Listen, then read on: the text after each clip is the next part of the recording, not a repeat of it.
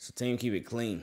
Uh, this obviously has been a very very busy 72 hours. Y'all know how draft time goes because it's not just about guys that were drafted. It was a bunch of undrafted free agents too. And the Ravens, um, they got busy there and they signed a bunch of guys, and, and we'll start to cover those uh, during the week. But hopefully, can't make no promises. I'm not gonna make any promises, but hopefully by the end of today, today's the last day of the month, but by the end of today, uh, we can get you caught up on everybody who the Ravens drafted. Uh, so we'll see how that goes. But anyway, uh, we talked about Zay Flowers already, who they drafted in the first round. We talked about Trenton Simpson, who they drafted in the third round. Um, so now we're moving on to the fourth round pick, uh, that being Tavius Robinson, outside linebacker uh, from Ole Miss. Now, I couldn't find much film on him, um, but what I did see, big frame guy.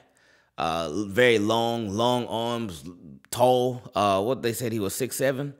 Um, but I, it's, it's weird because he uh, he's an outside linebacker, but I did see him rush from the outside, but I did see him rush a little bit from the inside. From what I saw, he's better rushing from the outside, but he can do a little bit of both, but outside is better. Uh, but what was weird, it's like this this dude is tall, super tall, six seven, but his spin move is really, really fast. It's, it's, it's extremely fast, man. Um, but he has a, plethora, a plethora of moves in his arsenal.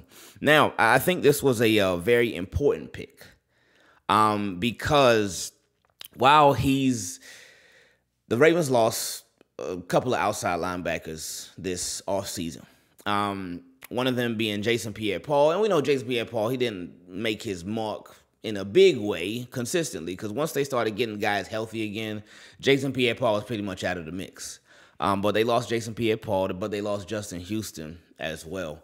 And while I don't I don't see Justin Houston um, in Tavius, uh, I think if for my player comp would actually be Jason Pierre-Paul. Because again, he's he's long like him. He's long, the, the long arms, he's tall. That would be who I will compare him to.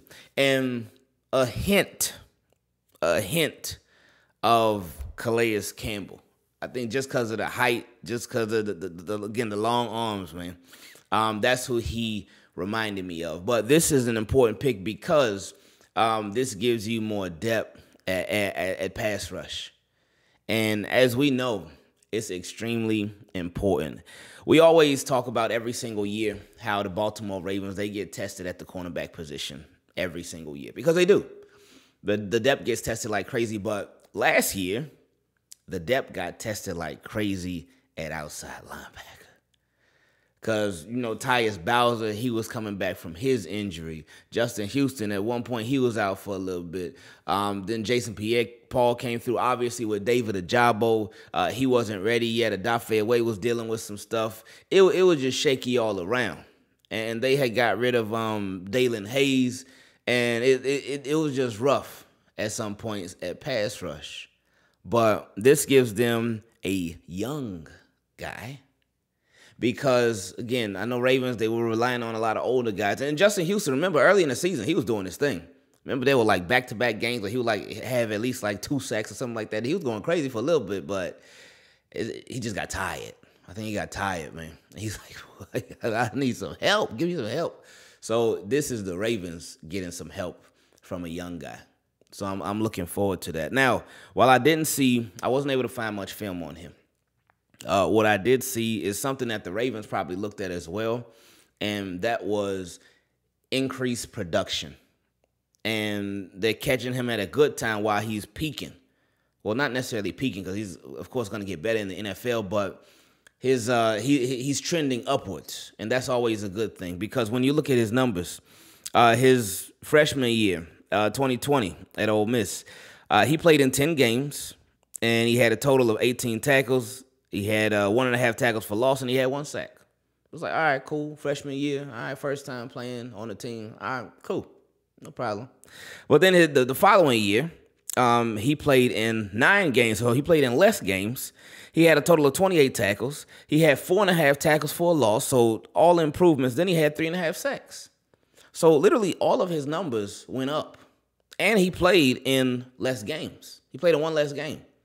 So that's a significant improvement. And, and, and it took you less time to do better. So that's a beautiful thing. But then he followed that up um, the following year in 2022. Played in more games, played in 13 games, so the most games that he had played in. Uh, he had 43 total tackles, so another significant improvement. Had seven tackles for a loss, so another significant improvement. But this time he had six sacks, so another significant improvement. So every year, um, his numbers just continue to increase. So that shows a couple of things. That shows more opportunity. Um, that shows that you not only were given more opportunity, but you deserve more opportunity because you made the most of that opportunity. Uh, and it shows production. That's what it's about production. Not just potential, but production. So he's showing both of those things. Now, we know with the Baltimore Ravens, it, it wouldn't be expected right now, um, especially as a fourth round pick, that he would get a ton of opportunity right away.